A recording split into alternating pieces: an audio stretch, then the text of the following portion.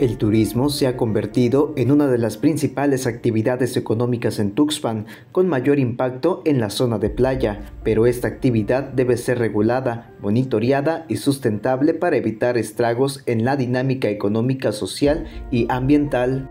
Tan solo en este último punto, al día se reportan dos toneladas de basura, principalmente plásticos.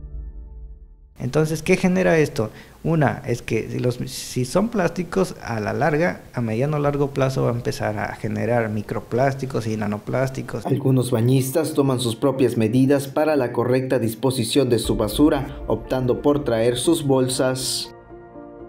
Yo creo que cada quien levantando su basurita, ¿no? Lo que tira uno, lo que consume uno, hay que llevárnoslo para que se mantenga limpio todo esto, ¿no? A fin de cuentas es para todos.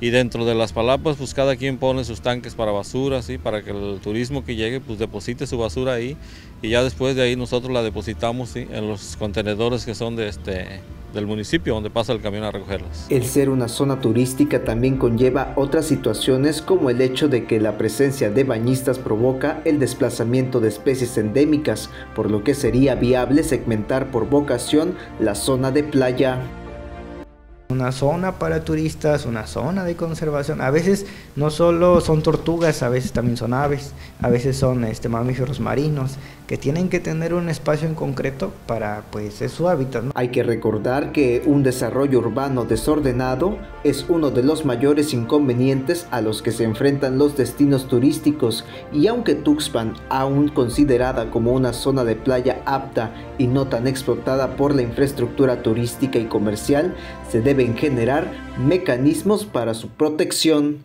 Para Mega Noticias, Ángel Veda.